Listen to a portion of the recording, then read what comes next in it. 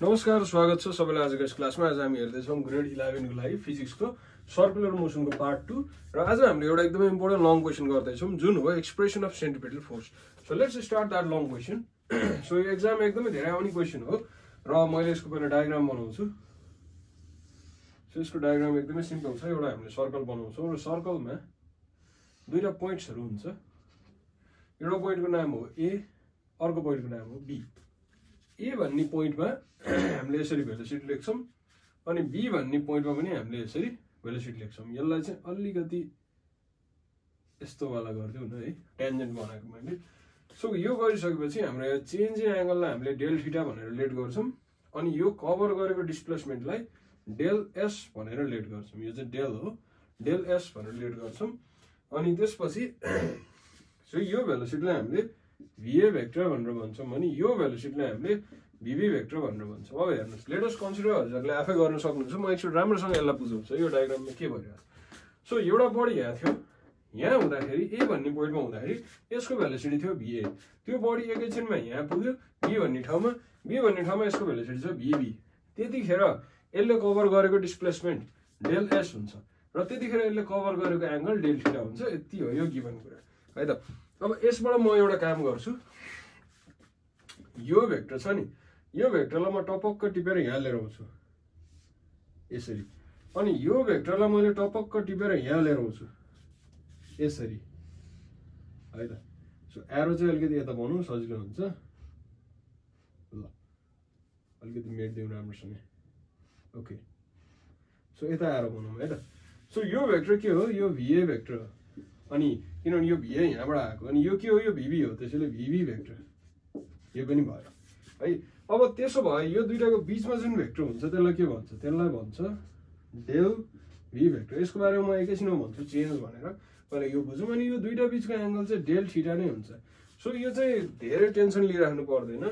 यो angle del ठिटा हुन्छ भने यो दुइटा बिचको एङ्गल पनि डेल ठिटा नै हुन्छ। यो हाम्रो सिम्पल जोमेट्रीले भन्छ।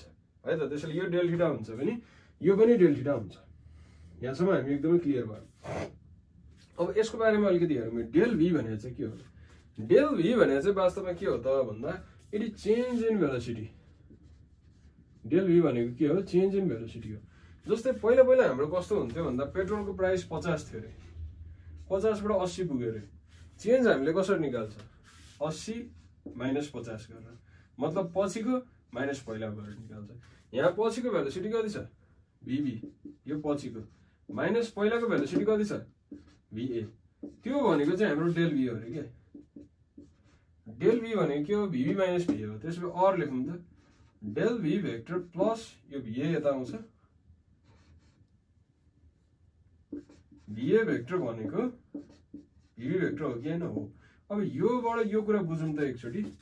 ट्राङ्गल अफ भेक्टर एडिसन अनुसार यो र यो जोड्यो भने यो बन्छ कि बन्दैन भन्छ यो भने के डेल भी यो भने के भिए यो भने के भिभी भनेपछि हामीले यो लेखाएको कुरा ठिक रहेछ बस मैले यो यो गरेर के बुझाउनु खोजेँ त भन्दा यसको डाइरेक्सन यही ठिक छ भनेर चाहिँ गराउनु खोजेँ मैले है सो यो चाहिँ हामीले कतै साइडमा लेख्न सक्छौँ लेटस कन्सिडरवाला पार्टमा है त सो मेन कुरा सुरु गरौँ सो यो दुईवटा डायग्रामलाई चलाएपछि हाम्रो यो ठ्याक्कै प्रुभ हुन्छ है एकदम सजिलो छ अब गर्नुलाई सो एउटा रिलेसन चाहिँ हामीलाई थाहा हुनुपर्छ त्यो के हो त भन्दा पहिला एउटा सानो काम कुरा म लेख्छु है त जस्तै यो भिए भेक्टर छ नि होइन यसको म्याग्निट्युड र भिभी भेक्टरको म्याग्निट्युड एउटै हुन्छ.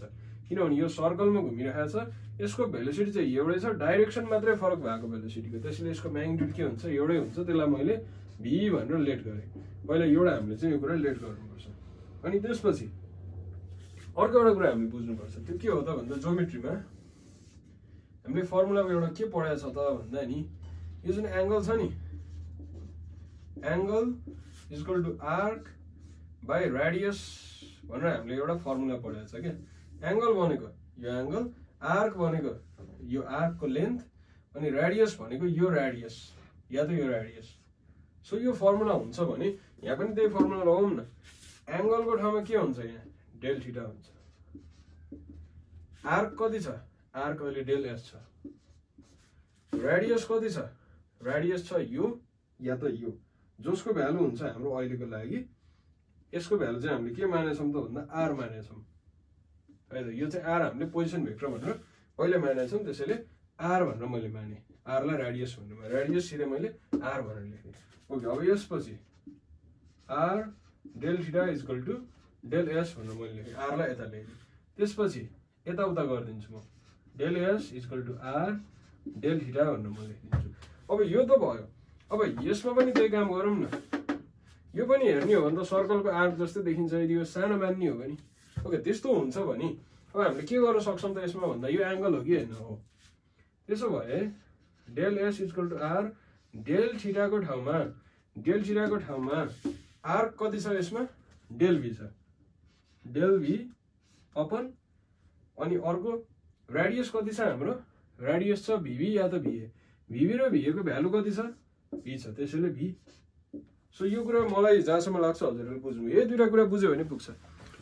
यहाँबाट पनि डेल थिटाको भ्यालु हाल्ने। फेरि यहाँबाट पनि डेल थिटाको भ्यालु हालिदिने फर्मुला यही हो। यो युज गरेर हालिसकेपछि हाम्रो काम बन्यो। है? अब यदि काम बनिसकेपछि अब सिम्पल हामीले क्रस मल्टिप्लाईहरू गर्छौँ त्यो म यता मेटेर गरिदिन्छु।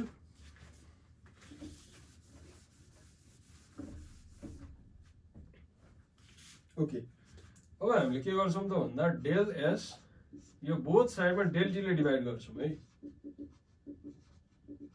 dividing both sides by del T del divide गरिदिउँ त्यो गर्न पाउँछ हामीले आर बाई भी यो आर बाई भी यता बस्छ अनि del V by del T अब यसपछि हामीले लिमिट पनि लिन मिल्छ लिमिट हामीले पढिसकेको छ बोथ साइडमा हामी लिमिट लिन्छौँ limit del T tends to zero del S by del T R by V limit यो आर बाई भीमा चाहिँ लिमिटभित्र जान्छ त्यसैले मैले डाइरेक्ट लेखिदिएँ बाई डेल टी है त? नभए डाइरेक्ट नगर्ने भयो यसलाई बाहिर लेखे पनि हुन्छ लिमिटलाई पहिलो स्टेपमा ल। लिमिट आर बाई भी दोस्रो स्टेपमा चाहिँ गरौँ। ओके हामीले एउटा फर्मुला पढाएको छ क्या त्यो।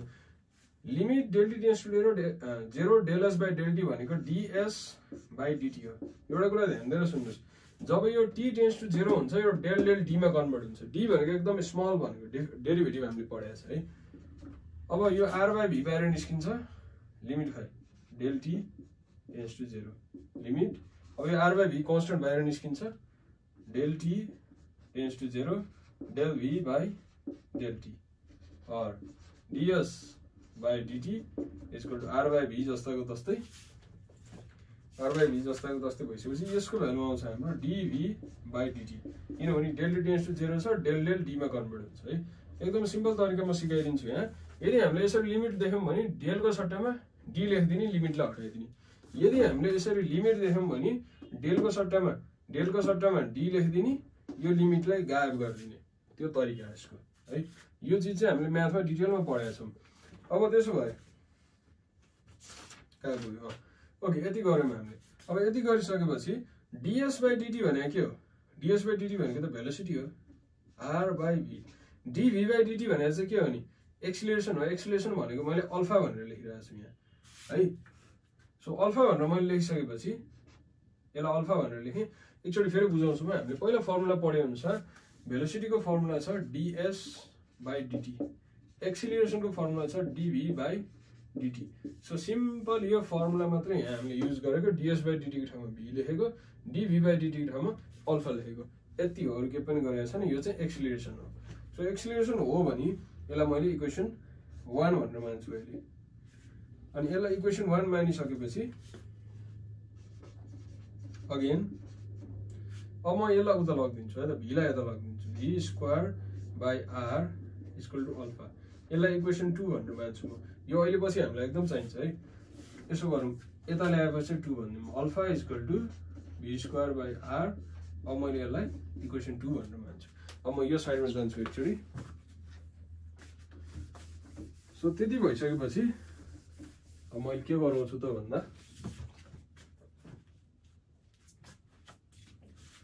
अल्फा भनेको भी स्क्वायर बाई आर भयो। अब फेरि यसलाई अर्कोमा लगाउँ है त। अल्फा भनेको अब एउटा म फर्मुला भन्छु। भी भनेको आर ओमेगा भनेर हामीले कतै प्रुभ गरेका थियौँ नि। पहिला त्यही फर्मुला हामी यहाँ युज गर्छौँ। यो भीको ठाउँमा के लेख्ने? आर ओमेगा लेख्ने।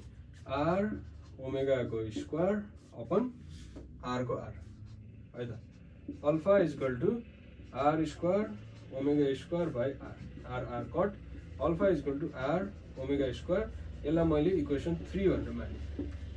अल्फाको भ्यालु यसरी तिनवटा आयो अब त्यसो भए वी हेभ अब हामीलाई त के निकाल्नु पर्ने हो सेन्ट्रिपेटल फोर्स निकाल्नु पर्ने हो है सो सेन्ट्रिपेटल फोर्स निकाल्नुको लागि फोर्सको फर्मुला के हुन्छ मास इन्टु एक्सिलेसन एक्सिलेसन अलिकति छ अल्फा छ सो एकचोटि हामीले यो राख्छौँ एकचोटि हामीले यो राख्छौँ सो यो राखेर हेरौँ पहिला V square by R we get M V square by R जुन हाम्रो सेन्ट्रिपेटल फोर्सको फर्मुला हो which is very very very important formula जुन इक्जाममा एकदमै आउने फर्मुला हो यो मैले आइभी भनेर यसलाई लेखेँ।